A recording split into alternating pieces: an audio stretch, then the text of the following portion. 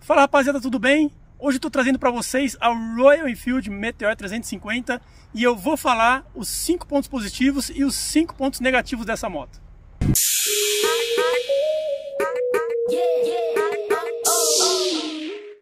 A gente veio até aqui na Serra da Graciosa, Paraná, para fazer um testzão com a Meteor 350 e eu vou falar para vocês os principais pontos positivos dessa moto e os pontos negativos na minha opinião. Até anotei aqui para não esquecer absolutamente nada. Bom, para começar, o principal ponto positivo da Meteor 350, esse modelo aqui é o modelo top de linha, o modelo completo, mas o principal ponto positivo número um é o preço, que custa R$ 24.490. O segundo ponto positivo na minha opinião, é o consumo de combustível. A gente chegou a fazer com ela até 33 km por litro, ou seja, é uma moto muito econômica que dá uma autonomia aí de mais de 350 km. Outro ponto que me agradou muito na Meteor 350, apesar dela ser uma moto relativamente fraca, tem um motor grande, mas uma moto relativamente fraca de apenas 20 cavalos, é o conforto de rodar seja o conforto na estrada ou na cidade, portanto que não pegue trechos muito esburacados ou de asfalto ruim.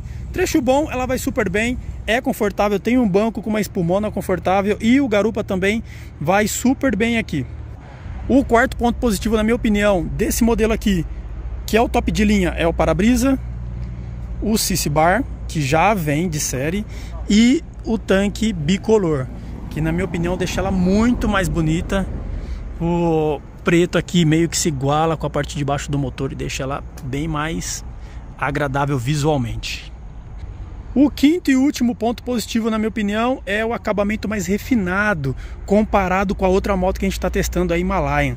Ela tem um acabamento muito mais refinado, propriamente dito de pintura, detalhes do tanque, o painel, a bolha frontal, o para-brisa frontal, um acabamento muito mais refinado propriamente do quadro, tem a solda mais fina, vocês podem ver até a própria construção aqui do motor do cabeçote, escapamento. Então ela tem alguns detalhes como o escrito na própria pedaleira, a pedaleira inteira emborrachada, e isso diminui a sensação de vibração. Tudo com escrito Royal. Aqui nos punhos também, ó. Royal. Tá focando aí?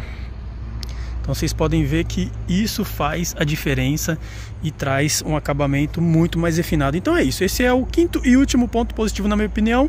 E agora eu vou mostrar para vocês os pontos negativos que eu não curti na moto. Vamos lá, os pontos negativos, cinco pontos negativos da Royal Enfield Meteor 350. Na minha opinião, é o primeiro, o peso. É uma moto aí que pesa 191 quilos, muito pesada, para manobrar em baixa velocidade ou para manobrar parado, mas andando esse peso praticamente some. Galera, o segundo ponto negativo aqui para mim é o painel. O painel da modelo 2023 perdeu aqui o navegadorzinho que tinha na lateral e ele é um painel bem simples, não tem conta-giro. Não sei se está dando para ver aí por conta da frequência da câmera e do painel da parte digital, perdeu o contagiro, quer dizer, não tem o contagiro e perdeu aqui o navegador. E também, conforme a gente vai navegando aqui, ó, tem o odômetro total, 5 mil quilômetros, a trip 1, trip 2 e não tem quilômetros por litro. Ou seja, é, falta algumas informações no painel aí que vem hoje em praticamente todas as motos. Segundo ponto negativo para mim. Bom, terceiro ponto negativo para mim na Meteor tá aqui, ó. Pneu, pneu da marca Fiat, não conheço, nunca ouvi falar, para ser sincero, desculpe minha ignorância se vocês conhecem, mas uh, pneu aí que provavelmente deve ser lá do país de fabricação da motocicleta, da Índia, então para mim é um ponto negativo. Quarto ponto negativo, na verdade eu acho que não é só da Meteor 350, deve ser de alguns outros modelos da marca, são os retrovisores, galera.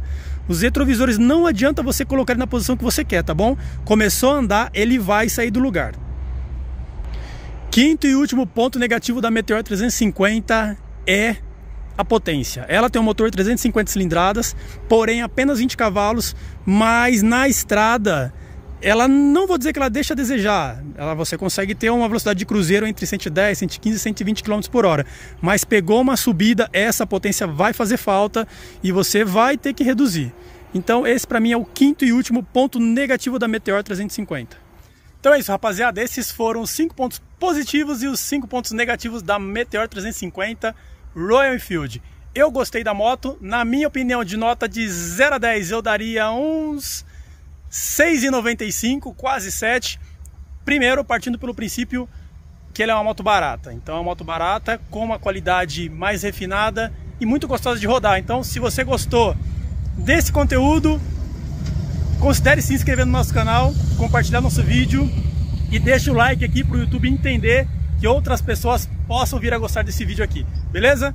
Quer fazer um test ride? Chama meus amigos lá da Royal Enfield de Sorocaba, Rick a Silmara, que é a gerente lá, eles vão ter total prazer em atender você.